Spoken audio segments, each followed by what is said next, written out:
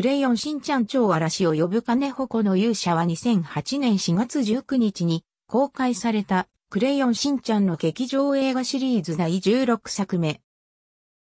本作の未監督が武藤裕二から本郷光に再度バトンタッチ。本郷光の5作目の監督作品。脚本を本郷が兼ねる。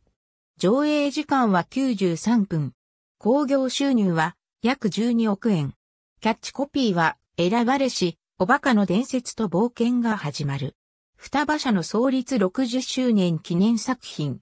本郷光が劇場版を監督するのは1996年、ヘンダーランドの大冒険以来で12年ぶりになる。本郷ならではのファンタジーな世界観が映画全体に出ている。また、挿入歌に合わせて登場人物が踊るといったミュージカル的な内容や、金、女性専用車両といった社会への皮肉的なものも多い。設定デザインとして、湯浅正明が再登板している。ゲスト声優は、お笑い芸人の小島よしお、主題歌担当は、歌手の DJ オズマ。暗黒世界ドンクライの帝王はせ、ダクダークは人間界を支配しようと企んでいた。しかし、闇を打ち払う三つの宝と勇者の伝説を知ったダークは三つの宝の一つである銅の卓をダッシュ。残る二つの宝、金の矛と銀の盾を奪おうとするが、一足早くダークの企みを知ったある男によって金の矛と銀の盾は人間界へ送られる。その頃、新之助はデパートでアクション仮面の新作のおもちゃ、アクションソードを買ってもらう。ところが家に帰って箱を開けてみると、アクションソードは物差しに変わっていた。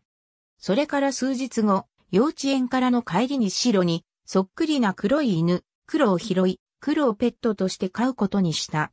その夜、目を覚ました新之助は突然家を訪ねてきた、プリリンというセクシーな女性に出会い、彼女に頼まれて一緒に外出する。しかし、プリリンの正体は人間界に送り込まれたダークの部下だった。新之助はダークの策略にかかり、人間界とドンクラーイをつなぐ扉を開いてしまう。翌日、新之助が開いてしまった扉から闇が人間界に流れ込み、その影響で野原家に様々な災難が降りかかっていく。そんな時、新之助の前に、またたみという少女が現れる。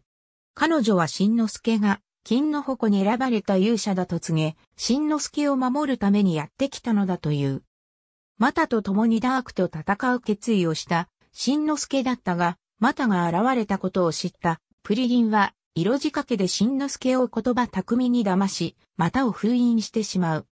それにより、野原家が知らないうちに人間界がおかしくなってしまい、さらにそれがダークたちによって作られた偽の世界であることに気づく。新之助たちは、またの封印を解き、彼女と共にダークに立ち向かう。当初は友達であることもあり動揺していたものの、持ち前の美人好きで結局プリリンの言葉を信じてしまい、その後の野原家の家族会議でも、当初新之助は、父の博士と共に、彼女を弁護した。一度自分を封印したことを水に流そうとしたが、その後新之助が空気を読まずナンパしたため、前言撤回しようとし、ミサイが代役で原骨をした。ありがとうございます。